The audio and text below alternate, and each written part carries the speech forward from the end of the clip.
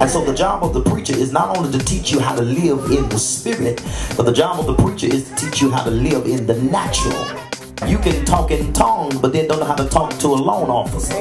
You can talk in tongues and don't even know how to talk to people at work. So there has to be a balance wherein we can teach you spiritual and natural.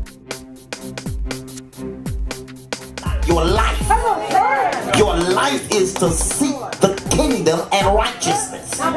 Your life is to worship. Your life is to be pleasing in the eyesight of God. That's why you live. Everything else, house, job, car, is a bonus.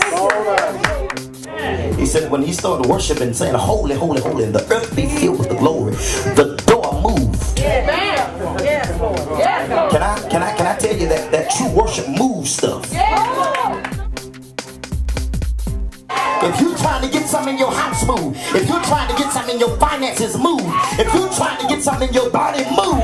When you worship God, it hears the voice of your worship and it moves. The Bible says it moved at the voice. Look at your neighbor. I'm giving it to move some stuff. I don't know what's been in your way,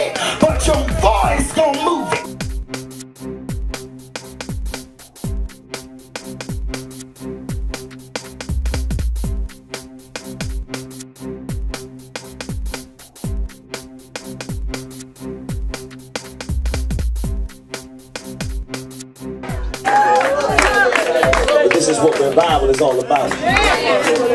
You ain't having church, shut it down. You get your neighbors out, I come to have church. You be at home looking at TV, I come to have church. I'm not come all the way out here don't get that from God.